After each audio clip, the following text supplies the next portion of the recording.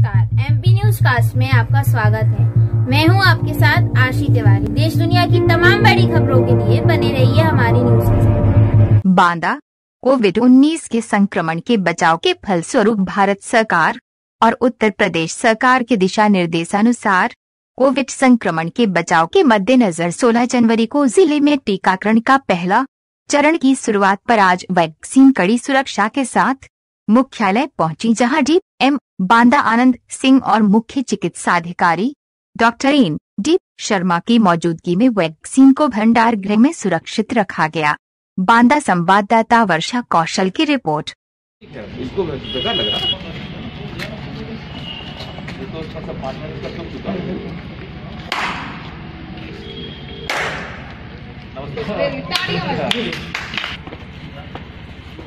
तो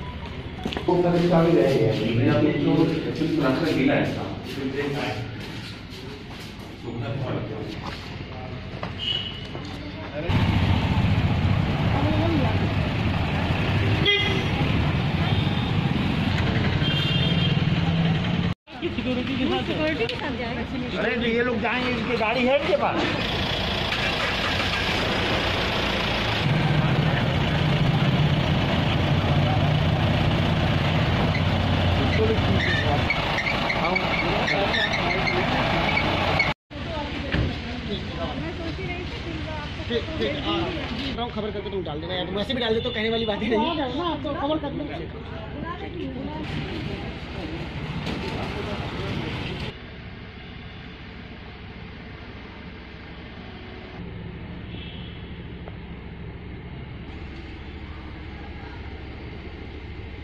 तक सेटिस्फाई नहीं होता हूँ ना।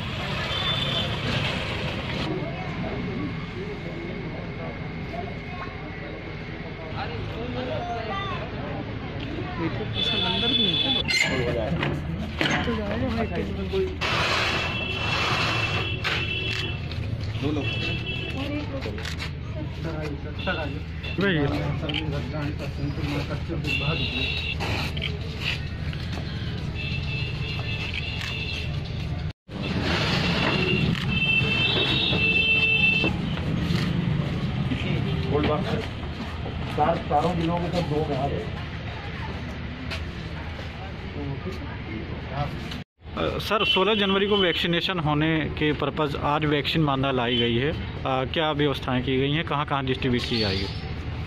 आज यहाँ कोविशील्ड वैक्सीन आ चुकी है। लगभग सात हज़ार नौ सौ के आसपास आई है। और कल यहाँ चार सेशन साइट्स हमारे दो शहर में हैं और दो अतरवा में हैं। यहाँ पर वैक्सीनेशन किया जाएगा, जो बेनिफिशरीज हैं, उनको आइडेंटिफाई कर लिया गया है ये हेल्थ केयर वर्कर को ही पहले लगाई जाएगी और प्रत्येक सेशन साइट पर 100 बेनिफिशरीज को वैक्सीन दी जाएगी। कल ये लॉन्च हो रहा है, इसके बाद में फिर प्रॉब्लली नेक्स्ट मंडे को, या फिर अगेन फ्राइडे को वैक्सीनेशन की कार्रवाई चलेगी और फ़र्स्ट फ़ेज़ में लगभग छः हज़ार पाँच सौ हेल्थ केयर वर्कर्स को वैक्सीनेशन किया जाएगा। सर ये जो कोरोना में अभी नया स्ट्रेन वायरस आया है क्या इसको भी ये कवर करेगा? बिल्कुल करेगा। ये उतना ही। इफ़ेक्टिव है ये उतना ही इफ़ेक्टिव बताया गया है। जो नया स्ट्रेन आया है उसको भी कोप कर सकेगा। सर ये जो वैक्सीनेशन शुरू होना है कोरोना का ये यहाँ पे कितना आया हुआ है जनपद में कितनी वायल आई हुई हैं और किन किन को लगेंगी और कौन से सेंटर बनाएँगे? अभी उन्यासी सौ साठ डोज आई हैं हमारे पास, जो उनतालीस सौ अस्सी हेल्थ केयर वर्कर के लिए होंगी प्रति व्यक्ति दो डोज।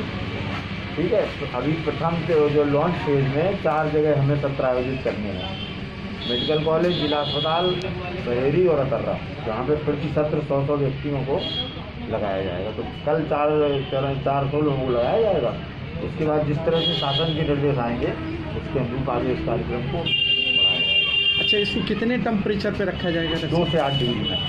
तो इसकी क्या व्यवस्था है अपने केंद्रों बिल्कुल इसके लिए आई एल आर है नया यूनिट बनी वो भी चालू हो जाएगी। जब ज़्यादा लोगों को पूरी पब्लिक को जब लगेगा ये टीका तीसरे फ़ेज़ में कब हुआ इसकी नए वाले की किस कंपनी की आई हुई है? गोदरेज नहीं ये अपनी वायल किस वैक्सीन कोविशील्ड है ये उसकी सीरम इंस्टीट्यूट की।